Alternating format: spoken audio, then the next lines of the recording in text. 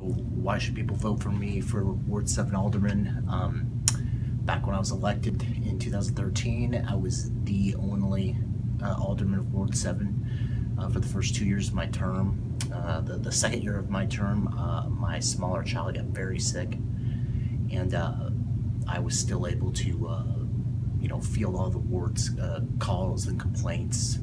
Um, and never have never ever received a complaint either to my face or over the phone or through email about how I've uh, conducted myself uh, throughout the course of the last four years at, at the meetings and uh, in the community. I go to the, you know, all the neighborhood uh, association uh, meetings that I can. um, I think I have a good understanding now, being an attorney as well as having four years under my belt as alderman. Of uh, I have a good understanding of how the city functions on the finance committee. Uh, I'm on the uh, um, ordinance and legal committee. Uh, so I think my uh, my talents have been used well uh, as a member of those two committees.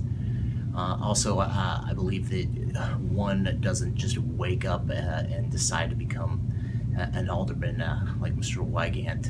I think I think that kind of decision making is is not good for government. Uh, it's the type of decision making that leads to bad government.